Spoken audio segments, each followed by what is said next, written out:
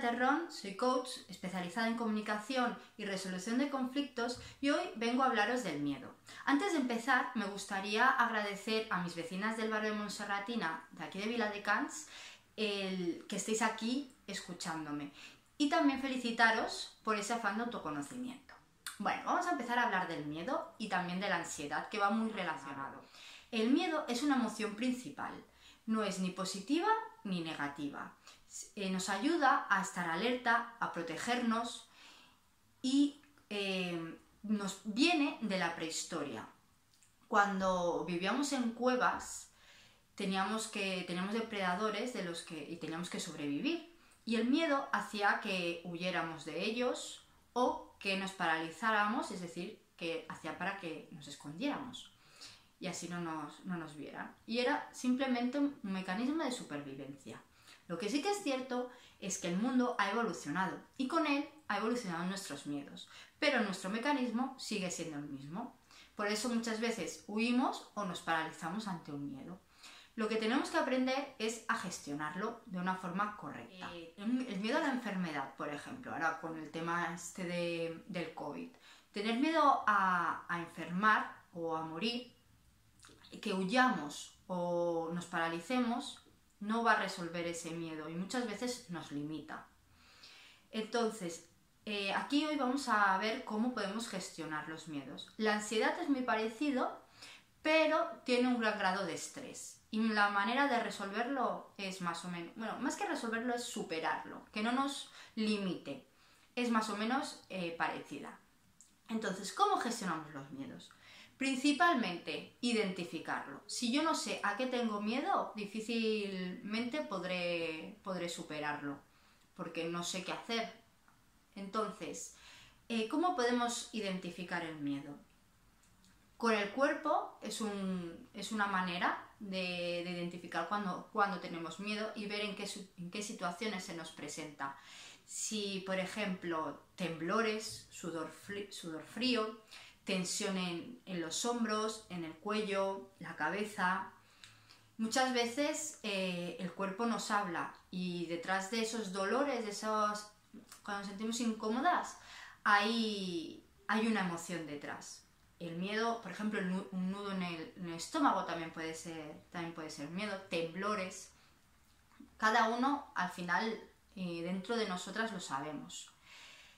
Una vez que tenemos identificado en el cuerpo ¿no? esos síntomas de miedo, también podemos, eh, tenemos que abrirnos y ser capaces de ver qué hay aquí dentro, qué pensamientos tenemos y saber reconocer cuando esos pensamientos, porque a veces eh, pensamos que son racionales, pero son consecuencia del miedo. Y por último, el foco. Cuando el miedo está presente en nosotras, eh, los pensamientos únicamente se enfocan en la raíz de ese miedo. Y entonces eh, tenemos que empezar a, ser conscientes de los pensamientos que tenemos, de cómo actúa nuestro cuerpo, con el lenguaje también que, que utilizamos y dónde nos estamos enfocando. Lo que estamos haciendo lo estamos haciendo por miedo, lo estamos haciendo por amor. Yo siempre digo que eh, lo contrario del miedo es el amor y, viceversa. Aunque se piense que lo contrario del amor es el odio, es el miedo. Yo muchas veces me pregunto, ¿esto que estoy haciendo o que no estoy haciendo, lo hago por miedo o lo hago por amor? Y a veces me funciona. Bueno, eh, la verdad es, que la única manera de superar el miedo es afrontándolo. A día de hoy, huir o negarlo o quedarnos paralizados no nos sirve para estos miedos modernos que yo llamo, como el miedo a la soledad, el miedo a la enfermedad, el miedo a la muerte. Ahora con el tema del COVID hay mucho, mucho miedo, mucha ansiedad, porque no sabemos lo que va a pasar. Y esto crea estrés y crea miedo, lo que nos lleva a la ansiedad. Eh, entonces, vamos a ver lo primero es que tenemos que identificar, una vez que tenemos identificado a qué tenemos miedo, es ver si este miedo es real o es ficticio. ¿Es algo que está pasando ahora? ¿Es algo que puede pasar?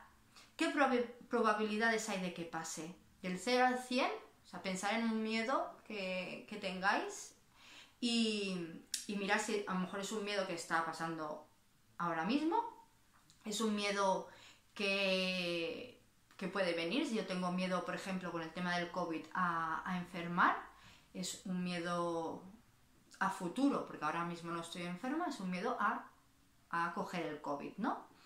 Eh, ¿Qué probabilidades hay de que lo coja? Del 0 al 100, pues según si a lo mejor en, en, el barrio pues no hay muchos contagiados, si yo no voy a, no cojo el transporte público, no voy a trabajar, mm, pues según por el ámbito en que yo me mueva, quizá la probabilidad es menor o peor, ¿no? Por ejemplo, un médico o si tengo un familiar que, es, que vive conmigo que es médico, pues quizá la probabilidad es mayor.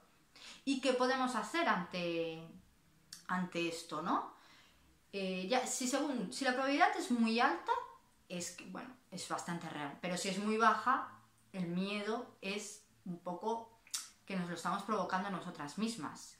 Es decir, si yo tengo miedo a un león, pero, cosa que es lo más normal del mundo, pero yo en mi día a día no me encuentro ningún león, eh, este miedo no me va a paralizar. Si yo tengo miedo a volar y tengo que volar, tengo que ir a algún sitio y evito ir a ese sitio por no volar, ahí me está paralizando el miedo. Y es un miedo real, es un miedo que tengo que afrontar. Vale, una vez que lo tenemos identificado, ya sabemos si es real o no, tenemos que aceptar ese miedo. Es decir, lo que os hablaba antes, no podemos negar el miedo, eh, hacer como si no existiera. Si yo estoy enferma y niego esa enfermedad, la enfermedad va a seguir ahí, aunque le dé la espalda. Hay que, hay que afrontarlo y hay que aceptarlo. Y ver qué oportunidades nos da. Que mm, a veces es difícil esto, ¿eh? Cambiar, eso es cambiar el foco en vez de estar pensando en por qué yo tengo esto y, qué, me ha pasado, es qué puedo hacer, qué, me está enseñando este miedo, ¿no? Y entonces darle un poco, un poco la vuelta.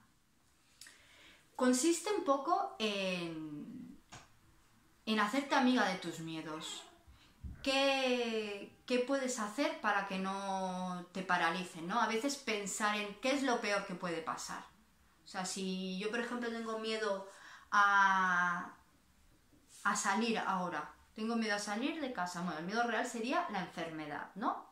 Eh, si salgo de casa, ¿qué puede pasar? Si yo voy sola y paseo sola, por ejemplo, o paseo con, mi marido o con, o con mi hijo o con mi hija, y, paseo. Un día me voy a pasear y no nos encontramos a nadie, no nos cruzamos con nadie. ¿Realmente hay probabilidades de coger el COVID? ¿Qué probabilidad hay? ¿Es tanto como para que yo no salga de casa? Esto, cada uno, yo solo son ejemplos, ¿eh?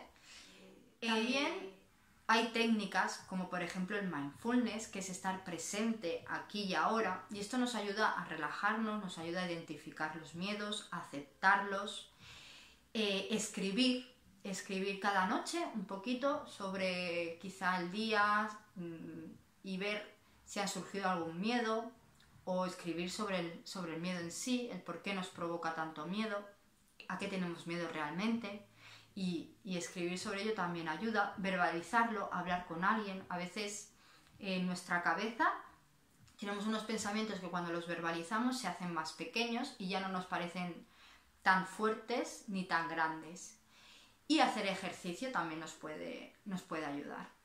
Entonces ahora lo que me gustaría es que mm, hacerlo un poquito más práctico, ¿no? Ya os he metido un poquito el rollo y ahora quiero que, me gustaría que cerrarais los ojos, si estáis sentadas, que los pies estuvieran en el suelo, bien apoyados, eh, que ponerse recta, espalda recta, en una posición cómoda para vosotras, las manos encima de, las piernas y me gustaría que cerrarais los ojos y hicierais dos respiraciones por la nariz profundas.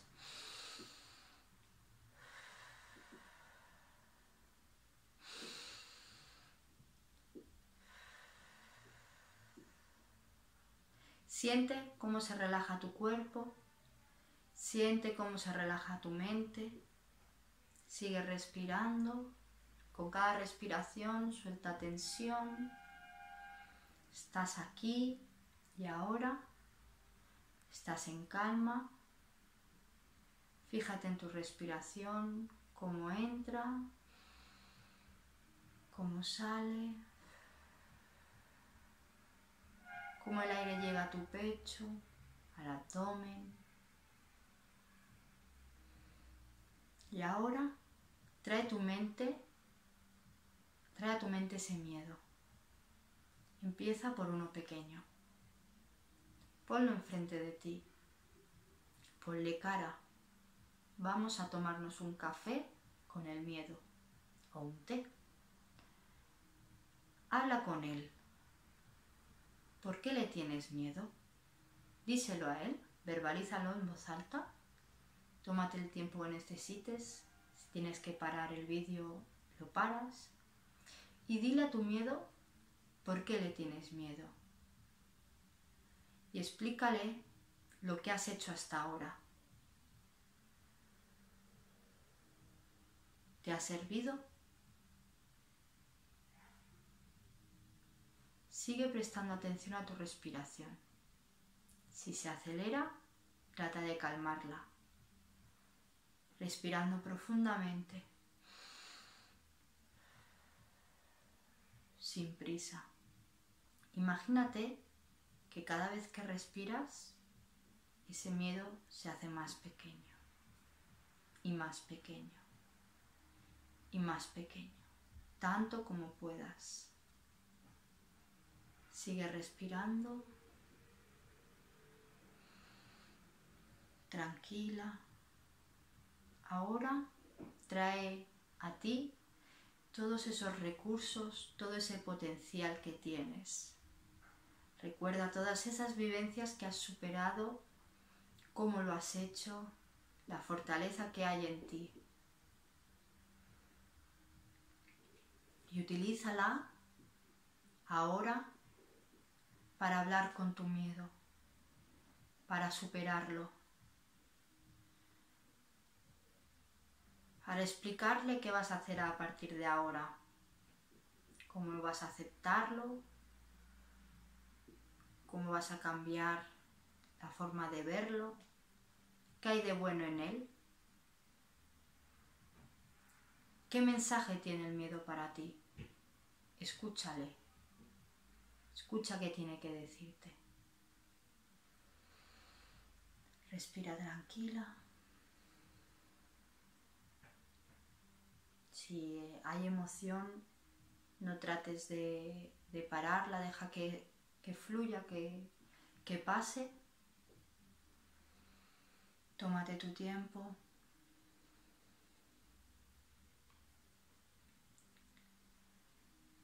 Escúchale bien con todos tus recursos, con todo tu potencial, contéstale. Desde la calma, desde esa aceptación, desde el amor, desde esa oportunidad que tiene para ti. Y ahora poco a poco, relaja tu cuerpo, tu mente, respira Haz varias respiraciones profundas.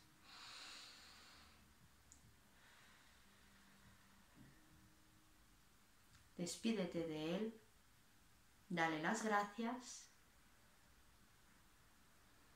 Y poco a poco vuelve, abre tus ojos, mueve un poquito tu cuerpo, desténsate si te has puesto muy en tensión. Bueno, espero que os haya, que os haya ayudado. Esto lo podéis repetir las veces que lo necesitéis, empezar por miedos pequeñitos y cada vez ir aumentando y sobre todo muy importante, si es un miedo muy, muy, muy fuerte, que os crean mucha, mucha ansiedad o tal, o, veis que no podéis con él, o es una fobia que realmente os está limitando, acudir a un profesional, acudir a un psicólogo si necesitáis eh, un poquito más de información, podéis contactar conmigo. No, no tengáis miedo al miedo, nunca mejor dicho, porque tiene una oportunidad para vosotras. Así que bueno, yo ya me despido, espero que os haya sido de utilidad y, y espero que nos veamos pronto. Un beso y hasta otra.